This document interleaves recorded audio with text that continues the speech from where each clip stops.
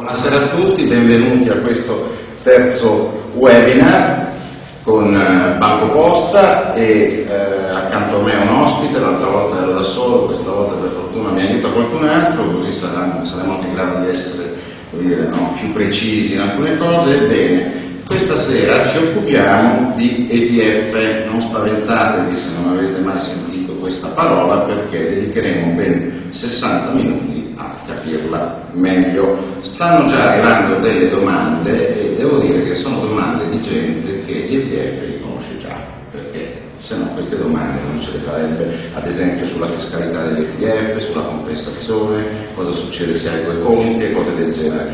Risponderemo a tutti, se poi non ce la facciamo mi scriveremo a casa.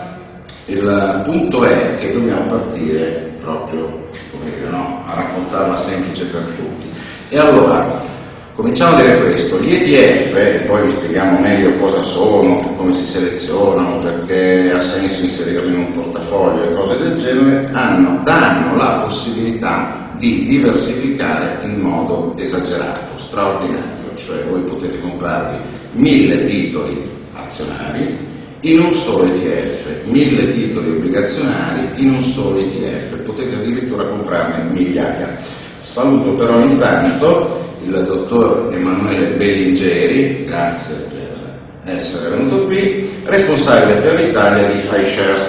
Allora, dicevo, si possono comprare fino a mille titoli, eccetera, ma intanto l'abbiamo invitata perché ci racconta eh, che, che, mestiere fa la sua società che guarda caso sacco di ETF. Quindi cosa fa Shares? Allora, per prima cosa eh, saluto tutti gli ascoltatori e, vi ringrazio per eh, avermi permesso di essere qui questa sera a parlare di ETF. Sono qui in qualità di responsabile italiano di iShares, che è la piattaforma ETF del gruppo BlackRock. BlackRock è una società eh, che si occupa della gestione degli investimenti per conto terzi, quindi del denaro che i propri, i propri clienti eh, affidano. Eh, all'interno di BlackRock, che è una società anche più grande a livello di masse gestite a livello mondiale, con eh, oltre 4 eh, miliardi, 4 mila miliardi di due volte il prodotto interno dell'Italia. Esatto, è anche difficile no, di parlare di questi numeri. All'interno di queste masse vi sono anche, eh, anche il denaro ETF che è di mille miliardi eh, appunto, di investimenti a livello, eh, a livello globale. Quindi potremmo chiedere a BlackRock di prestarci tutto per fare una finanziaria. Il denaro degli investitori, se gli investitori sono d'accordo, Va bene, ne parliamo stasera. Quindi, eh, d'accordo, tra l'altro una piccola nota, eh, proprio nei giorni scorsi si leggeva che BlackRock ha comprato di qua e di là uno e mezzo della borsa italiana, giusto una piccola curiosità.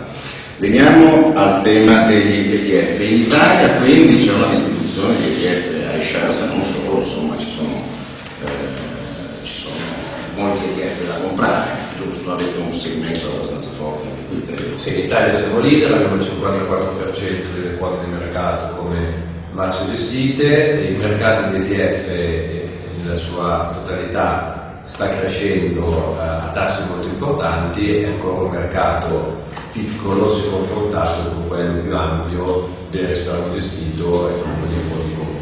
Allora, detto questo, dobbiamo però a questo punto a chi dice sì, noi non ho ancora capito cosa sono gli ETF, allora adesso ve lo diciamo partendo con una slide che Bellingeri mi aiuterà a commentare. Eccola qua. Io ringrazio Andrea, Paolo, Antonio delle domande che stanno arrivando, eh, poi vi rispondiamo, naturalmente potete già cominciare a farne. Conoscere gli ETF andiamo dopo.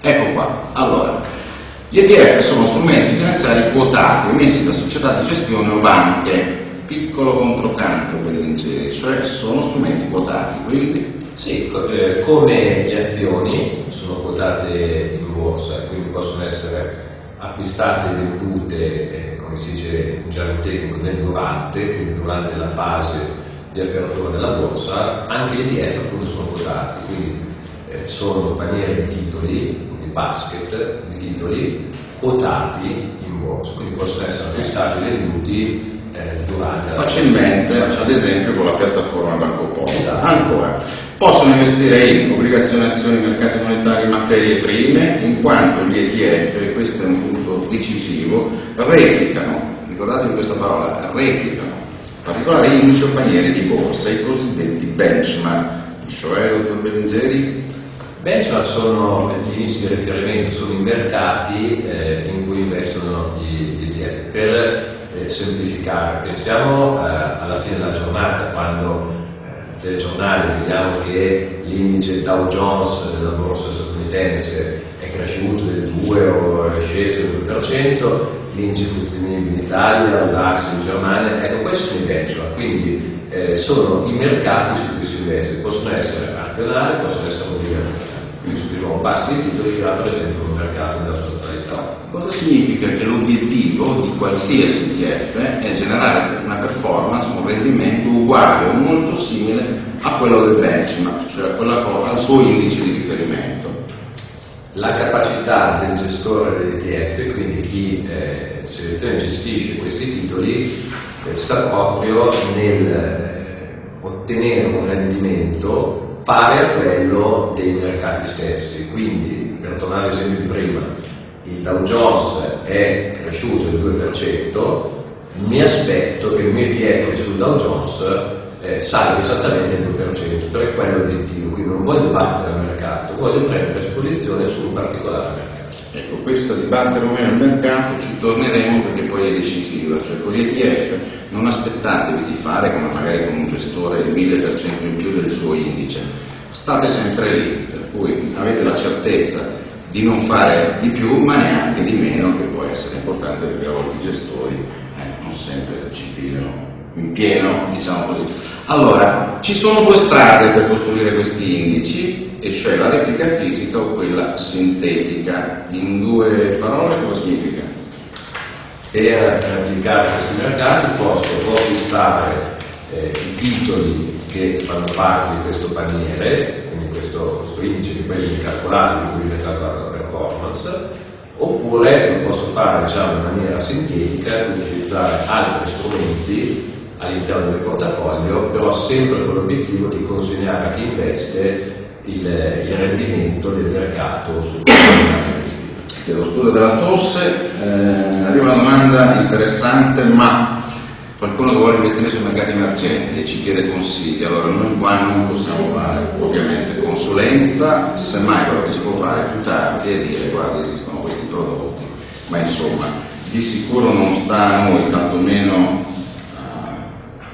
cioè, per ruolo istituzionale, quello che fa Bellingeri, poter dare consigli di investimento. Allora, abbiamo detto in modo semplice cosa sono i, eh, gli ETF e come funzionano. A questo punto vi faccio una piccola nota storica, e cioè gli ETF sono nati vent'anni fa, quindi non sono nati ieri, ma nemmeno tantissimo tempo fa. Eh, nel 1990 è nato il primo simile ETF alla borsa di Toronto, però il debutto ufficiale si fa risalire al 1993, quando cioè nacque il primo ETF sull'indice americano S&P 500. Immagino che lo avrete già sentito citare, l'S&P 500 è l'indice che mette insieme le 500 società più grandi, più capitalizzate, più liquide della borsa americana di Wall Street, quindi è un indice importante, per alcuni più importante al mondo. Ma adesso torniamo un attimo a quello che si diceva prima, e cioè, guardate un po' questa slide, questa slide relativa ai titoli del listino italiano, il Fuzzi perché mi spiace dirlo, no, mi è andato parecchio male. Allora, si vede un po' stretto, ma insomma vedete che si parte con la 2A, che è quella che dà il gas e l'energia ai milanesi, poi c'è Atlantia, quella della, dell'autostrada del sole, poi ci sono le varie società note, la Cinote, Ene, Eni, le banche, la moda da qualche anno e via dicendo. Allora, per farvi capire esattamente cos'è un ETF, se non vi è ancora chiaro, farò una domanda un po' da deficiente al dottor Federinceri, e cioè io credo che la borsa italiana si riprenderà, voglio dare fiducia a questo paese, eccetera, eccetera, allora domani mi prendo la mia bella piattaforma di Banco Posta e mi compro tutti i 40 titoli, quindi 40 operazioni e a quel punto in mano tutto il listino. Le sembra una cosa sensata? Sicuramente è possibile, quindi Tecnicamente. quindi tecnicamente lo posso fare. Mm. Vi è un modo molto più efficiente, eh, io con una singola operazione al posto di comprare 40 titoli compro uno strumento, appunto l'ETF, in questo caso l'esempio del shares FTSE che mi permette appunto con una sola operazione di acquistare tutto il paniere, quindi tutti questi 40 titoli. Tra l'altro con il peso corretto, quindi l'ente grande di altre società peserà di più, così esattamente diciamo, replicando il peso dell'indice stesso. Di nuovo, se domani sera eh, l'indice ha fatto più 1,5% ad esempio, eh, mi aspetto che il ETF faccia più 1,5%. Quindi, come vedo dalla slide, c'è appunto la possibilità di comprare no? i vari ETF, segnato quello che replica i shares esattamente il FTSE MIP, quindi in altre parole lei ci ha detto una cosa che è importante, perché uno che si compra 40 titoli e dice che magari mette 1000 euro in ogni titolo, in realtà non ha il MIP in mano, perché ENI pesa 10 volte di più di altri titoli, mentre invece l'ETF per principio deve replicare esattamente, direi da, in modo ragionieristico quasi, no? cioè esattamente tutti quelli che sono anche i pesi, cosa che un privato sinceramente farebbe fatica a fare. Qual è il grande vantaggio? Che eh, se uno si compra Eni può essere che va bene, può essere che va male, se si compra eh, Unicredit può essere che va bene, può essere che va male, naturalmente se ti compri tutto in qualche modo andrai sempre a compensare no? quello che può andare meglio con quello che può andare peggio e quindi stai a benchmark come si dice. Senta, ma eh, vi abbiamo fatto appunto la domanda un po' da, da semplice semplice per capire.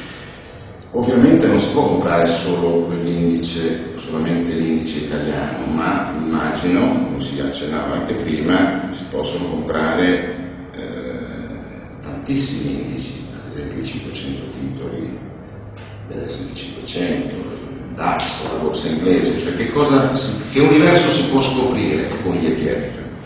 Allora, in, eh, su Borsa Italiana ci sono centinaia e centinaia di ETF che si quotati, quindi diciamo la categoria dei fondi quotati è circa eh, 800, quindi eh, non solo ISOS ma anche di, eh, di altri emittenti, quindi posso realmente investire su tutti i mercati, eh, lo posso fare anche scegliendo magari l'emittente e sullo stesso mercato eh, posso scegliere eh, ad esempio l'ETF che è accumulazione, quindi con i dividendi che vengono reinvestiti nell'ETF stesso, oppure la distribuzione, quindi un po' un dividendo eh, periodicamente, oppure con la copertura del cambio. Quindi anche sullo stesso indice abbiamo più opzioni. Eh, logicamente eh, bisogna capire, prima di effettuare l'investimento, capire bene eh, quali sono le mie esigenze, qual è eh, il mio profilo di rendimento quindi qual è l'indice su cui devo andare a investire. Ecco, un, un limite che a volte commettono un errore, mi permetto di dire, che a volte commettono i risparmiatori, tanto più il cosiddetto piccolo risparmiatore che non ha le masse di un gestore, di un istituzionale, eccetera, eccetera, è quello che magari si focalizzano su poche cose, no? Vogliamo citare un caso drammatico di questo paese, la Parmalat, quelli che abitavano vicino a Parma, chissà perché, erano pieni di azioni Parmalat e di obbligazioni Parmalat. Perché? Perché mi sembrava che quel nome fosse fantastico e, e non potesse mai fallire, e invece hanno dovuto scontare eh, pesantemente questa speranza convinzione. Allora, eh, mi aiuti in questo senso, cioè se uno può con 1000 euro comprarsi la borsa italiana più o meno tutta, tutta quella inglese, tutta quella americana, tutta quella indiana, tutta quella cinese, insomma si ritrova migliaia di titoli in tasca, tutto sommato con un investimento molto contenuto. Da questo punto di vista l'ETF è veramente lo strumento diciamo, principe per fare una diversificazione del genere. Assolutamente. Eh, teniamo presente che stiamo parlando di 1000 euro, però la singola quota dell'ETF, poi dipende da ETF ETF, ma costa anche meno, quindi diciamo che possiamo parlare di 100 euro. Quindi con 100 euro posso prendere a esposizione anche tramite un singolo ETF, ETF su più di 1000 titoli. Eh, qui eh, introduciamo un concetto fondamentale che è quello della diversificazione. Cioè, è il concetto classico di non mettere tutte le uova nello stesso paniere. Magari posso rinunciare a una, a una performance stratosferica di uno o più titoli, però d'altro canto se io ho mille titoli in portafoglio e un'azienda, diciamo che sono anche gli ETF obbligazionari, un'azienda che va in default e non riesce più a pagare il debito, questa peserà molto poco sul mio portafoglio e quindi l'incidenza delle perdita sarà molto limitata. Se invece, d'altro canto, acquisto un prodotto, quindi una sola azienda, un'emissione da sola azienda, invece ho un rischio molto molto più elevato. Allora, andiamo avanti ancora una volta, eh, domande devo dire di persone che sugli ETF no, sanno già eh, diverse cose, infatti dividendo, accumulazione, no? Poi dopo torniamo su tutte queste. Eh, esageriamo, eh, si possono comprare tutti gli indici delle borse mondiali messi insieme? Esiste uno strumento che mi permette di investire su migliaia di titoli? Eh, io lo so che esiste una domanda retorica, insomma, di cosa stiamo parlando? Beh, retorica però, eh, forse parlando di questi strumenti, si capiscono meglio le potenzialità di questi ETF, perché abbiamo fatto il primo esempio sui 40 titoli della borsa italiana, dove abbiamo detto sì, tecnicamente è possibile farlo e deve farlo tramite un ETF, però effettivamente devo fare 40 operazioni sono gare per l'investitore privato, eh, è un po' complicato, però si possono acquistare tranquillamente. Se invece eh, allarghiamo un po' l'orizzonte, pensiamo ad esempio all'MCI World, quindi all'indice azionario che investe sulle borse di tutto il mondo, eh, la situazione è diversa perché stiamo parlando di oltre 1500 titoli eh, su diversi paesi, su diversi listini, con valute diverse e quindi eh, capiamo bene che andare a comprare questi titoli solo per un discorso di apertura o chiusura della borsa, se io voglio fare un'operazione al mattino e la borsa americana è chiusa perché apre quando poi è pomeriggio, eh, non è tecnicamente possibile, devo comprare scadenati. Con l'ETF acquisto di nuovo con un colpo solo, con un'operazione unica, oltre 1500 titoli in tutto il mondo. Quindi forse eh, appunto le potenzialità eh, emergono ancora di più se parliamo di indici molto ampi e non solo concentrati su un singolo paese. C'è anche credo un aspetto psicologico che va sottolineato, cioè un conto è andare a dormire pensando di aver messo soldi su un titolo con il rischio che poi esce la notizia improvvisa che non ti aspetti e lo vedi scendere. Altra cosa è che se hai 1500 titoli, 1, 2, 10 quel giorno rilasciano notizie brutte, insomma, ci chiamano, ne hai 1490 che invece magari rilasciano notizie belle. Quindi da questo punto di vista la diversificazione, ripeto, è anche uno strumento per mantenere un capitale psicologico che non va mai perduto. Allora sì, ci chiedono tra le altre cose la differenza tra ETF e fondi comuni di investimento perché un po' qualcuno potrebbe un po' giustamente pensare che tenda ad associarsi come strumento certo. e certamente arriveremo a parlare anche eh, di questo eh, anzi vista, ah, diciamo ci arriviamo fra poco mi interessava un'altra questione così come abbiamo parlato di azioni eh, c'è la possibilità di comprarsi mille obbligazioni. Esempio banale, uno dice compro la Grecia o compro la Germania, volendo compri tutte e due e questo già di per sé vi fa capire che vi prendete gli alti rendimenti della Grecia ma vi proteggete con la Germania, ammesso che esistenti la Germania. Non sta benissimo però insomma sta sempre meglio 10 volte più di altri. Quindi? Sì, questo ambito di innovazione del, dell'RTF è, è ancora più evidente Infatti le azioni sono tutte quotate, quindi comunque, anche se magari è più complicato andare a comprare singole azioni, posso farlo. Le obbligazioni presentano delle peculiarità diverse, innanzitutto non tutte sono quotate nel durante, mentre l'ETF è quotato e quindi esprime un prezzo, un valore in tempo reale. E poi ci sono anche dei lotti minimi, sappiamo che per comprare le obbligazioni societarie ci vuole dei lotti minimi che sono anche elevati, anche decine di migliaia di euro. In questo caso, di nuovo, tramite ETF, ad esempio sui corporate europei, posso comprare oltre 1000 titoli di nuovo con un investimento minimo intorno ai 100 euro.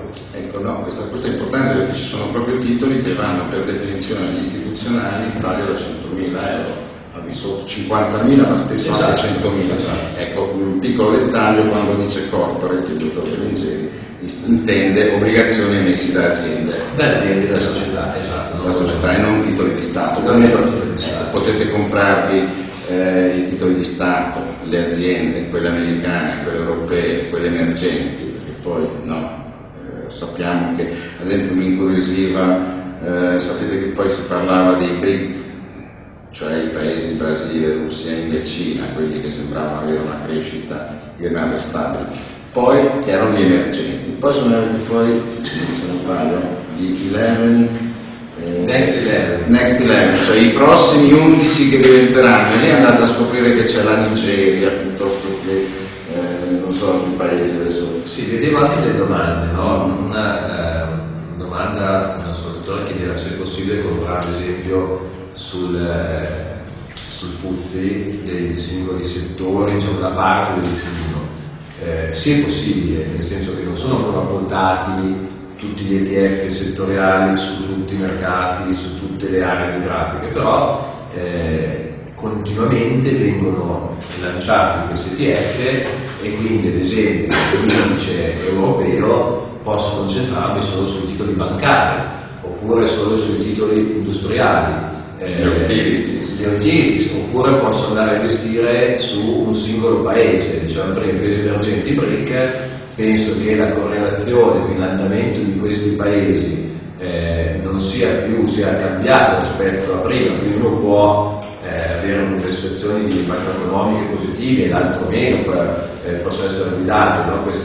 l'andamento di questi mercati da eh, situazioni diverse, posso andare a selezionare l'India, posso andare a selezionare la Cina, eh, lo posso fare in modo eh, molto puntuale e poi posso anche, posso anche, andare a investire su eh, temi di investimento, quindi aziende che si occupano di eh, acqua, eh, aziende che si occupano di real estate, di infrastruttura, quindi posso spacchettare no, i mercati in singoli temi e questo è quello che Torniamo al discorso di prima, cioè che si possono fare investimenti straordinariamente diversificati con investimenti contenuti. Se posso chiusare, visto che io non ho i vincoli eh, della policy, chiamiamola così, di Escher, come giornalista sono più libero, allora se posso chiusare eh, questo, questo, questo, nostro partecipante, eh, allora lei ha chiesto, io purtroppo non ho qua il cursore,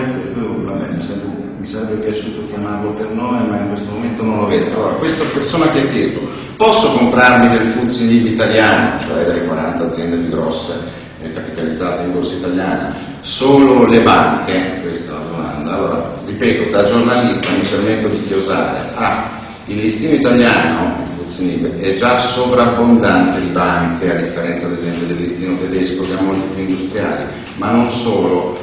Eh, forse, mi permetto, se uno pensa che le banche abbiano da recuperare assai, beh, ci sono anche gli ETF sulle banche europee. Quindi uno dice, ma perché andate a comprare solo i crediti d'intesa che sono i due grandi colossi del nostro listino? Allarga l'orizzonte alle europee. E aggiungo, siccome tra poco ci saranno, eh, no, la BCE, la Banca Centrale Europea, rilascerà eh, dire, i risultati degli esami sulle banche europee, se posso permettermi, magari aspetterei quel paio di settimane, ecco, probabilmente mi sbaglio di sicuro, ma insomma, aspettare un paio di settimane e vedere se le banche europee sono messe bene o sono vicine al fallimento, non credo sia un consiglio. eh, da gettare. Certo, no, qui non stiamo dicendo che cosa uno deve comprare, semmai quando. Allora, rischio è come le azioni non sono tutelate come per i fondi comuni, e così entriamo sul discorso dei fondi comuni, ce lo chiede Paolo. Sì, questo è diciamo, un aspetto interessante. Gli ETF, quindi l'acronimo ETF eh, significa Exchange Traded Fund, quindi sono fondi quotati in borsa sono gli OICR, che è l'organismo di investimento collettivo del risparmio, sono dei fondi come per i fondi il patrimonio è segregato rispetto a quello dell'emittente e quindi in caso di fallimento dell'emittente il patrimonio non viene intaccato perché è segregato, esattamente come eh, nei fondi. Finora abbiamo parlato degli ETF come strumenti quotati, quindi paragonandoli a costando di molte azioni, una componente molto importante, una caratteristica importante dell'ETF è quella di essere fondi comuni Naturalmente hanno anche delle differenze, poi le accennavamo dal punto di vista del rendimento potenziale. Ma più che del rendimento potenziale dell'obiettivo. Qual è la grossa differenza tra eh, un fondo comune e un eh, ETF? Allora, l'obiettivo del fondo comune, del gestore del fondo comune, è fare meglio del mercato. Cosa significa? Che se tornando all'esempio iniziale, l'indice americano oggi perde il 3%, ad esempio, il gestore del fondo comune eh, si impegna per ottenere una performance migliore del 3%, quindi per perdere diciamo, il 2%, l'1 magari per fare positivo. Quindi questo è l'obiettivo. Non sempre ci riesce naturalmente, c'è un aspetto umano, quindi qualche volta si fa meglio, qualche volta si fa uguale, qualche volta si fa peggio. L'obiettivo dell'EDF è quello di replicare il mercato. Quindi poi bisognerà capire eh, quali sono i gestori più bravi che riescono a battere costantemente il benchmark e quali no, perché sicuramente non tutti lo fanno costantemente, qua ci sono diciamo, i dati.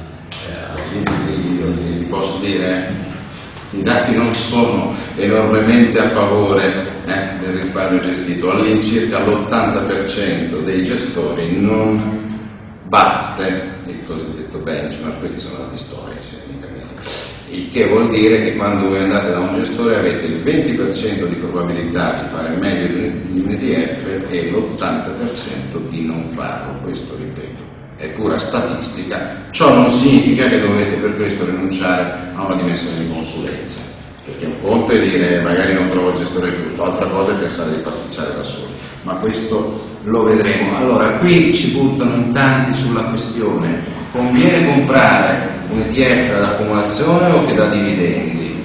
Credo che sia una scelta abbastanza... È una scelta, è una scelta del singolo. Allora, eh L'ETF a distribuzione dei dividendi permette di ottenere una, un ammontare di denaro periodicamente, quindi se si investe una cifra comunque anche magari considerevole, eh, si sa che ogni 3, ogni 6 mesi eh, si ottiene, quindi sul conto corrente eh, avremo, riceveremo eh, quantità di denaro può essere intorno a 2, 3, 4 in base al al rendimento ai dividendi di, eh, stesso.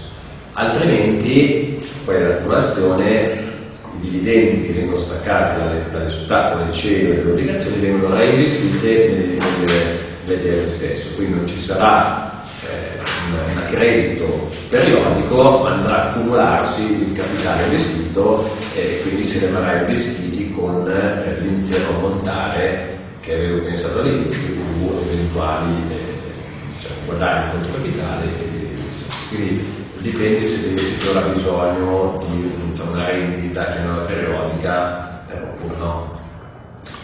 Allora, continuiamo con delle domande e qui devo chiamare in causa di nuovo Bellingeri, mm, naturalmente lo invito anche a bere perché ogni tanto non si secca la gola. Allora, molte domande sul tema delicato della tassazione sì. e con varie convenienze fiscali. Allora, la prima cosa semplice semplice che diciamo è come viene tassato un ETF? Sì. Faccio, faccio, magari una premessa. Sì.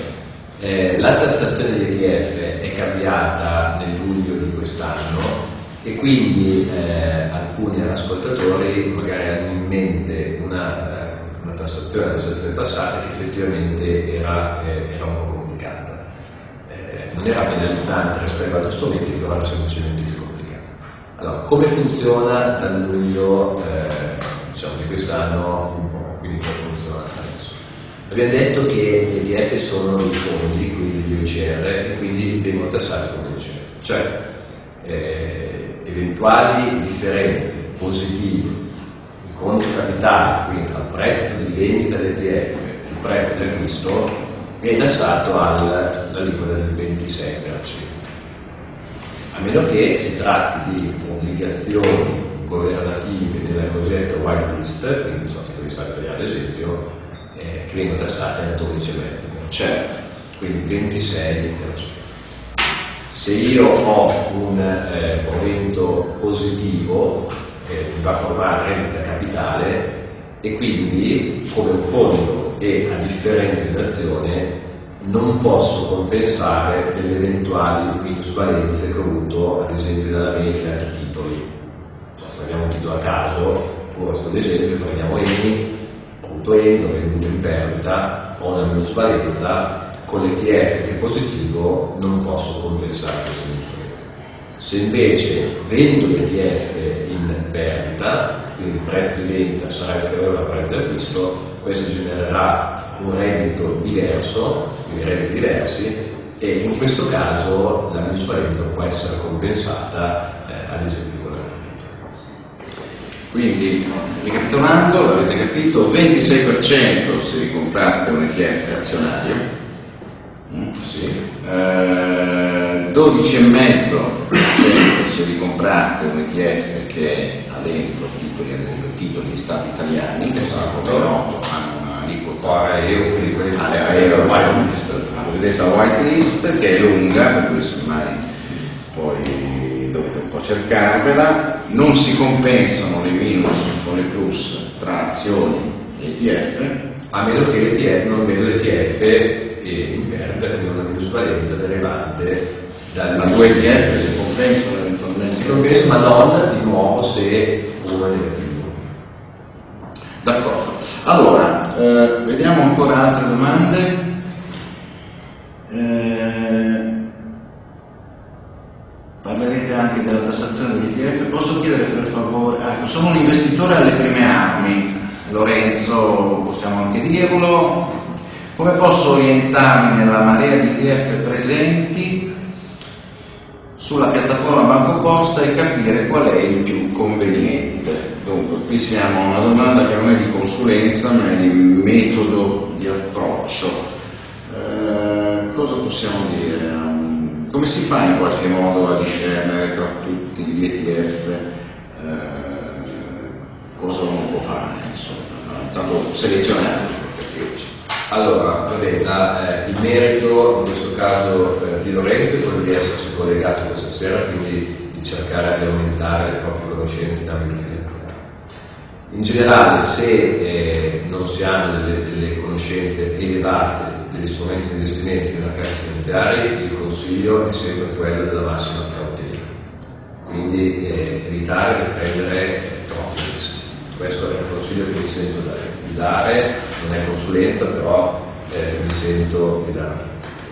Per coloro che conoscono i mercati finanziari, quindi con una cultura eh, finanziaria elevata, che vogliono investire eh, da soli, le indicazioni, i consigli sono quelli innanzitutto di capire eh, in base al proprio profilo rischio-rendimento quali sono i mercati su cui si vuole investire, andare a individuare il giusto benchmark, quindi il giusto indice e poi eh, questo si può fare sul sito eh, post online oppure sul sito nostro di shares.it, andare a vedere le caratteristiche stesse dell'ETF, quindi il numero di portafoglio, eh, dove su cui si investe, la diversificazione, eh, chi è l'emittente, quindi se è un emittente affidabile che ha dimostrato nel tempo di, sapere, di sapere gestire eh, bene l'ETF, valutare i costi eh, e valutare anche la liquidità del debito stesso, quindi nel momento in cui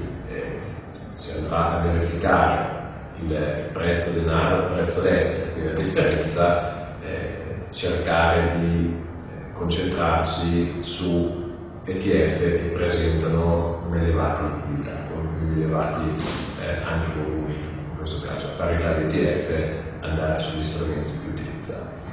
Allora, eh, se posso qui anch'io dire qualcosa, e cioè ehm, Allora, la prima cosa da, da, non fare è quella di rischiare se non si capisce un po' con cosa si ha a che fare.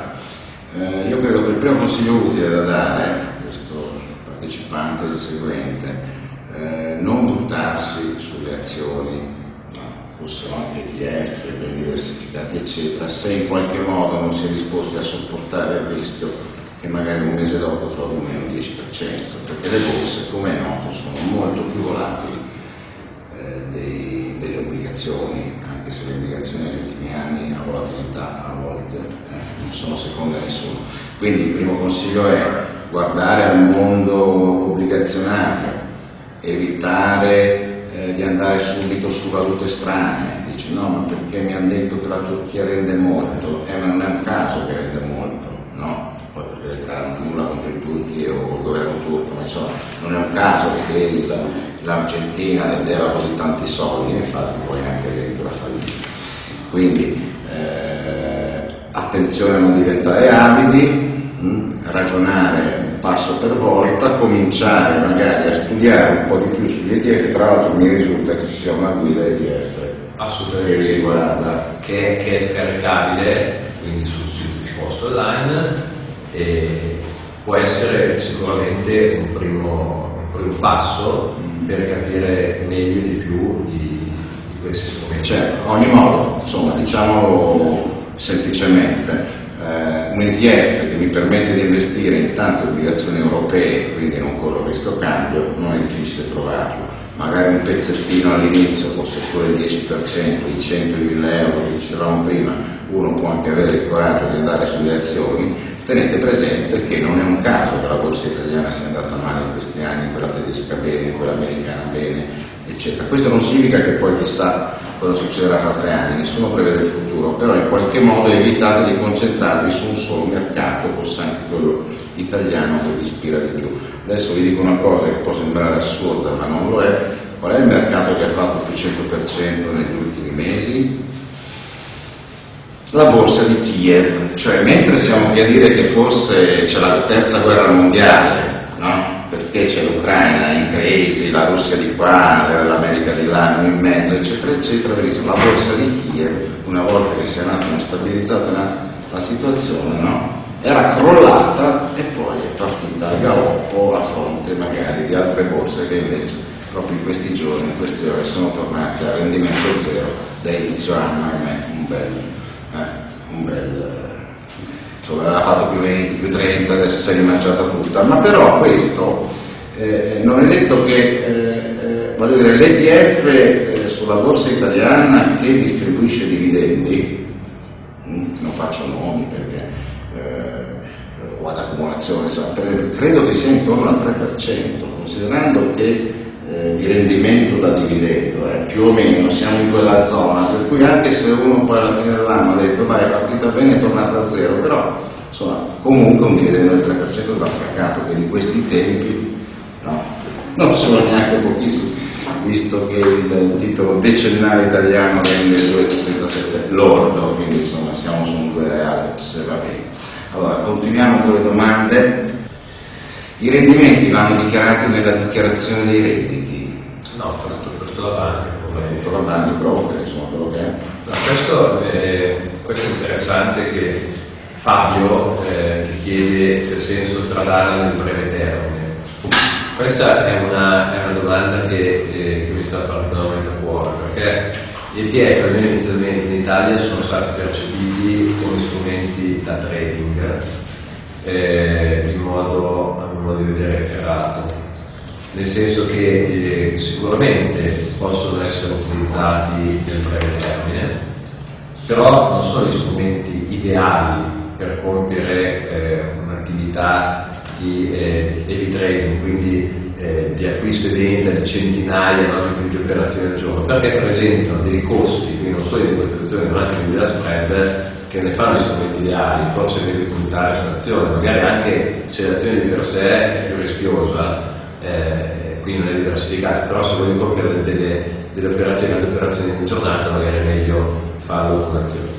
Gli ETF sono strumenti di risparmio di medio e lungo periodo, quindi come i fondi.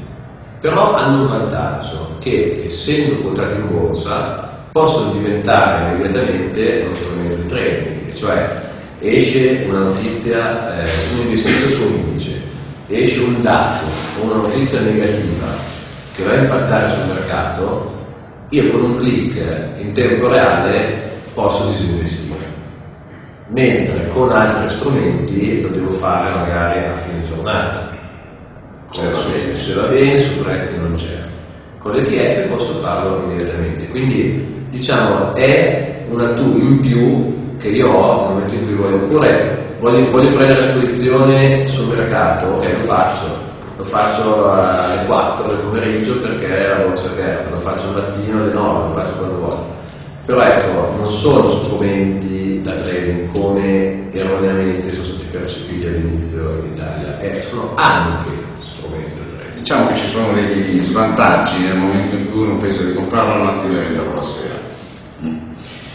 Poi invece ci può essere chi, io mi permetto di dirlo, magari li compra inizio mese e vende 30 giorni dopo, perché allora lì magari riesce a fare quel 5%, sa, no? però è perché ambisci a un 5%, non di perché le cose vanno molto bene, allora te lo compri certamente, eh, sono strumenti da, chiamiamoli un po' da cassettista, per dirla con un certo gergo.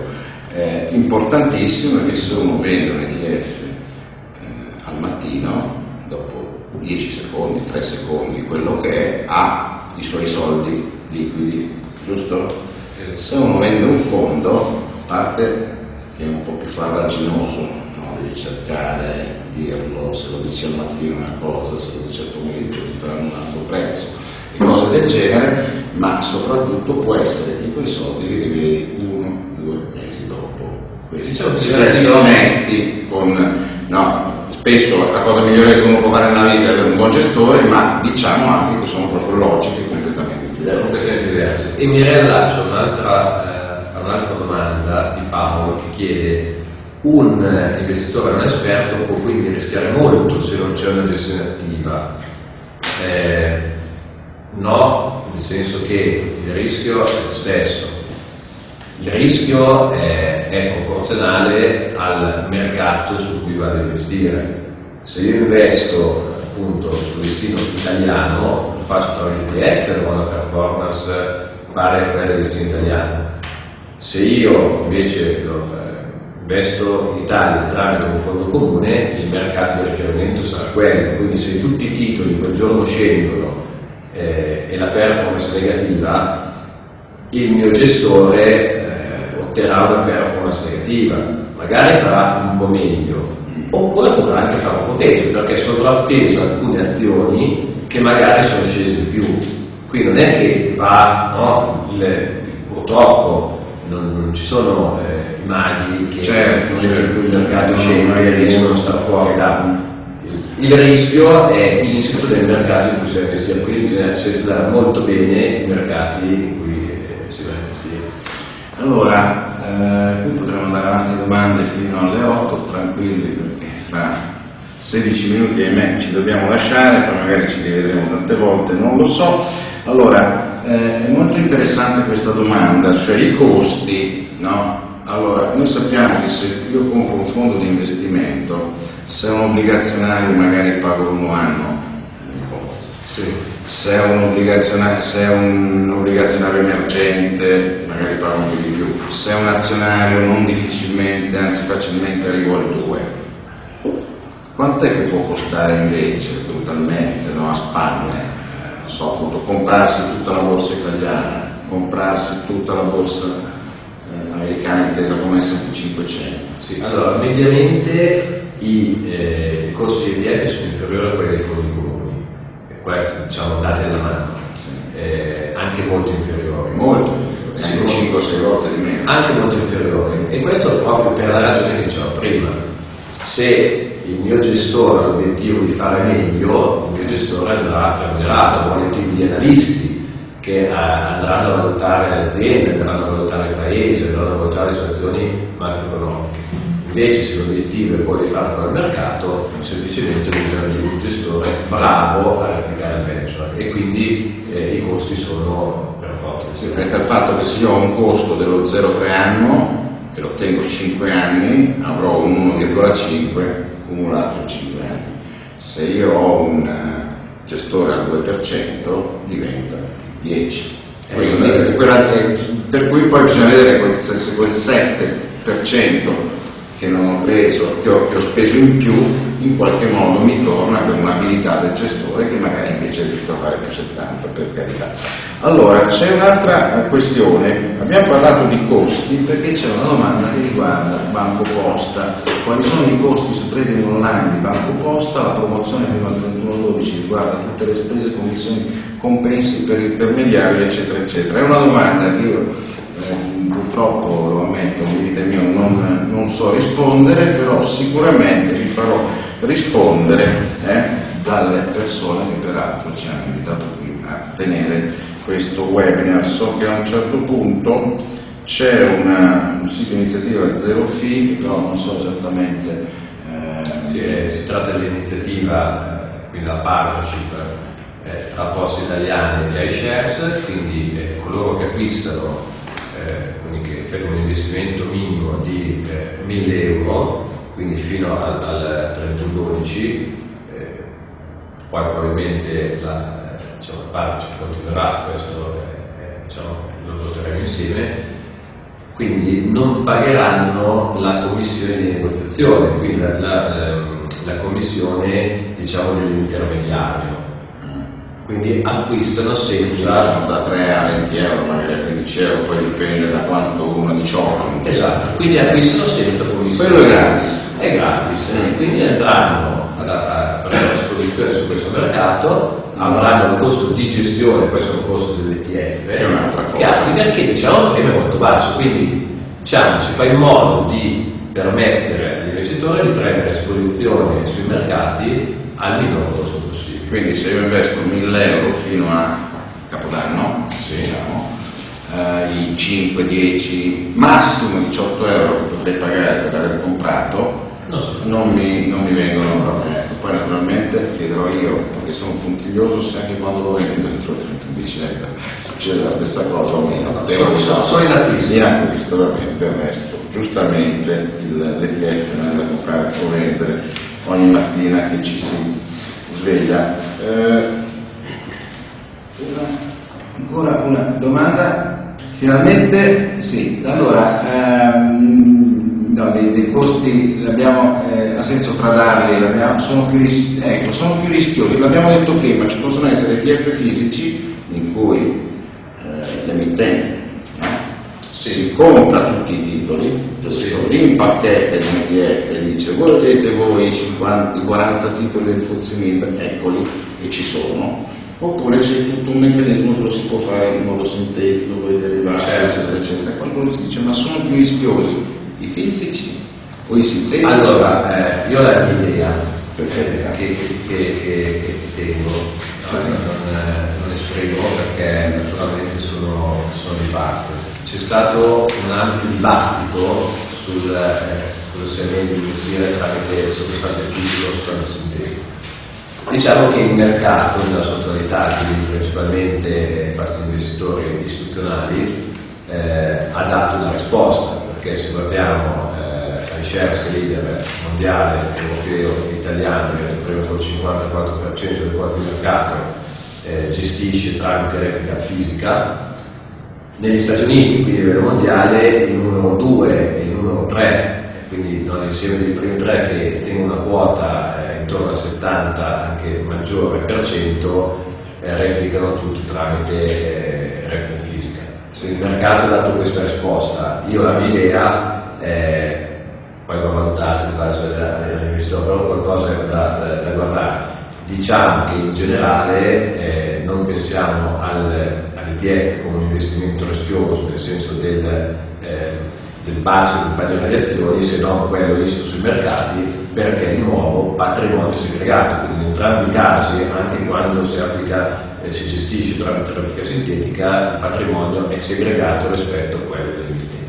Così come avviene. Quindi non è che per dirla un po' in soldoni, eh, non, è, non è che uno prende dai soldi, non a belliggeri per soldi, Certo. insomma, no? E dice poi scappa con la cassa, non, non potete c'è la scappare. c'è la parte depositaria, eh, vengono depositati, quindi sul conto segregato vengono depositati diciamo, gli investimenti, questo sia in un caso eh, che nell'altro. Ecco, ma a proposito di acquisto fisico, che in qualche modo è più impegnativo dell'acquisto sintetico, perché con i derivati se ne fanno un po' di due, riuscite ad acquistare quindi anche centinaia di migliaia di obbligazioni fisicamente? Sì, e in questo caso è utile eh, considerare se si attua una, ehm, diciamo una replica completa, che significa ci sono mille titoli nell'indice, io vado fisicamente a comprare mille titoli, oppure una replica parziale o cambiamento, nel senso che laddove siano degli indici di mercato con ad esempio 1500-2000 sottostanti,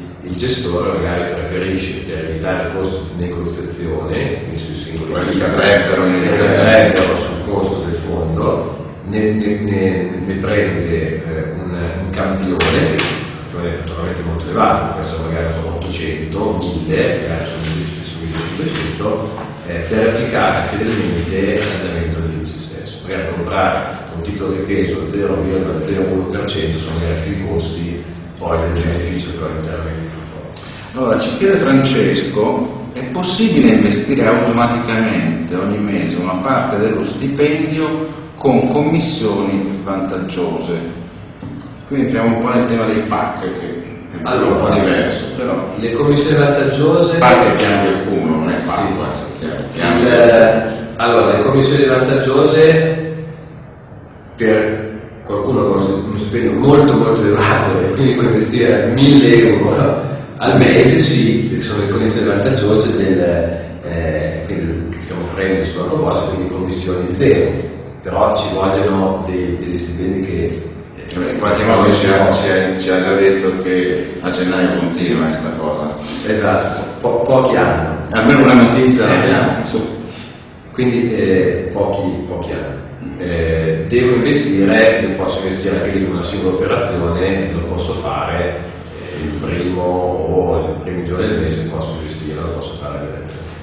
Va bene, quindi ecco, però poi c'è una logica un po' diversa che secondo me va approfondita, cioè eh, una persona che ha uno stipendio, quindi ragionevolmente un dipendente, eh, che si pone il problema di risparmiare, quindi che riesce a spendere tutto, altri non arrivano a fine mese, lui evidentemente ci arriva e mette via una parte, dice giustamente mi conviene investire un po' per volta, no? Allora ci sono i piani di accumulo, ci sono società di gestione che ti fanno un piano di accumulo e ti dicono tu dammi a me 100 euro al mese, 1000 euro al mese e poi io te li metto all'interno di un pacchettino che fra vent'anni avrai una pensione migliore perché ti sei fatta questa gamba oppure uno se lo può fare da solo, nel senso che basta essere rigorosi, e cioè eh, mettersi ogni no, quel tot lì.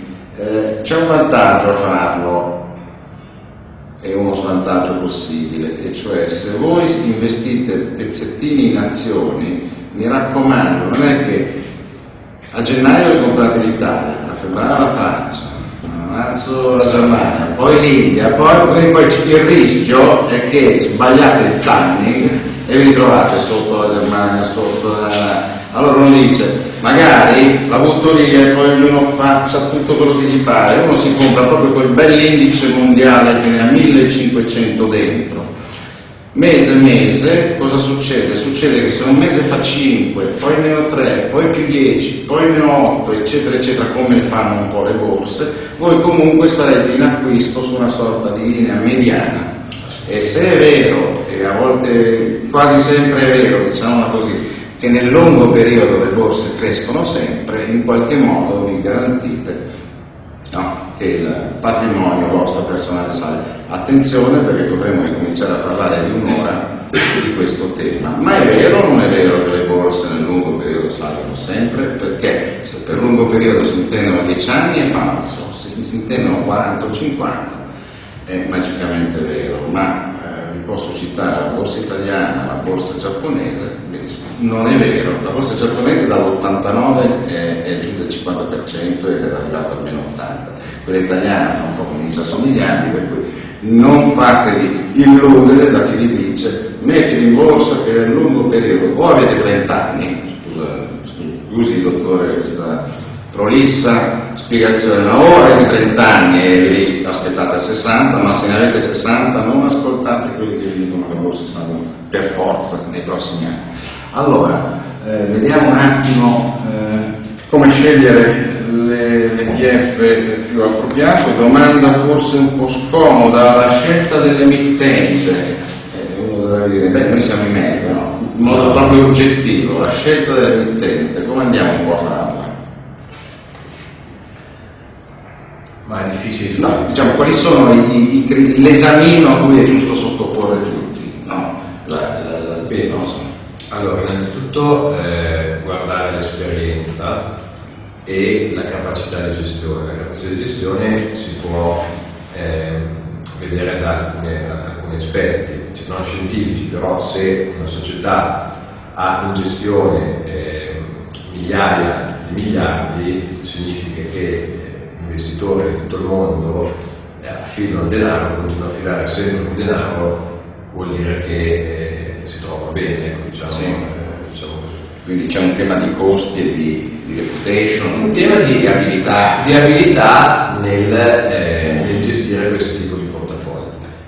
E poi anche vedere se a livello di performance, diciamo così, cioè se un ETF va bene o no, eh, l'aderenza che ha al bench, quindi se io voglio investire su un processo S&P 500 e l'S&P 500 fa più 10 a fine anno, se io sono molto vicino ai più 10 vuol dire che gestisco bene. Se io faccio anche più 12, ho fatto meglio, però l'obiettivo non era quello di fare meglio, era quello di fare tanto quanto il mercato. E quindi valutare anche più tecnicamente queste capacità eh, gestionali. Tema importante la liquidità dello strumento, cioè è chiaro che se su un ETF convertono tanti acquirenti e venditori, no? Sì. l'ETF è per definizione liquido.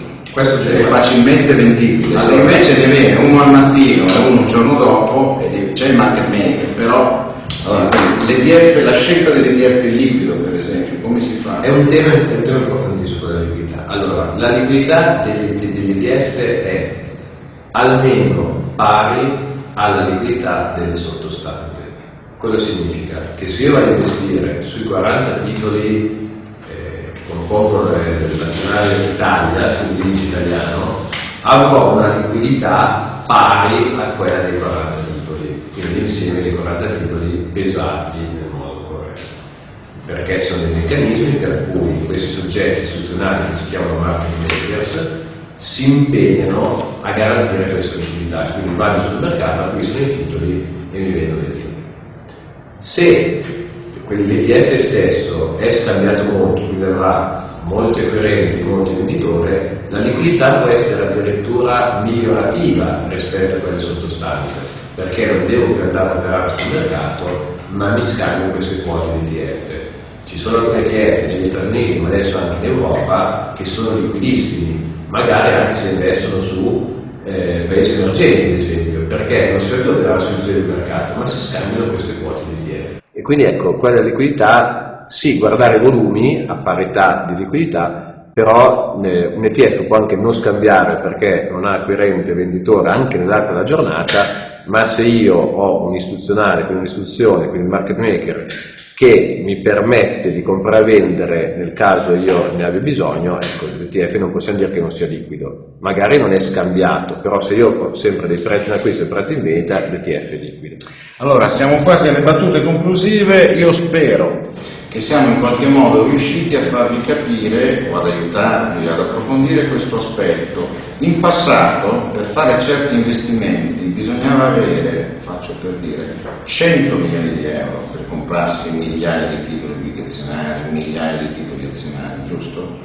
Adesso lo si può fare anche con, ripeto, i 100 poi 1000 euro.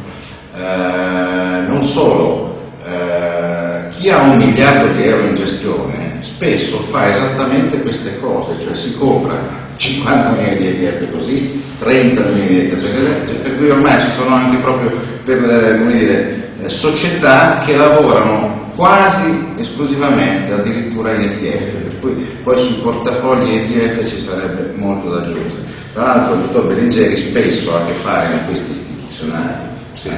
che maneggiano cifre no, zeri che noi, ci, noi, normali, noi umani normali ce li sogniamo, quindi insomma lo ringrazio in particolare per essere stato con noi e con voi che invece siete piccoli risparmiatori eh, e quindi insomma dovete fare bene i vostri conti.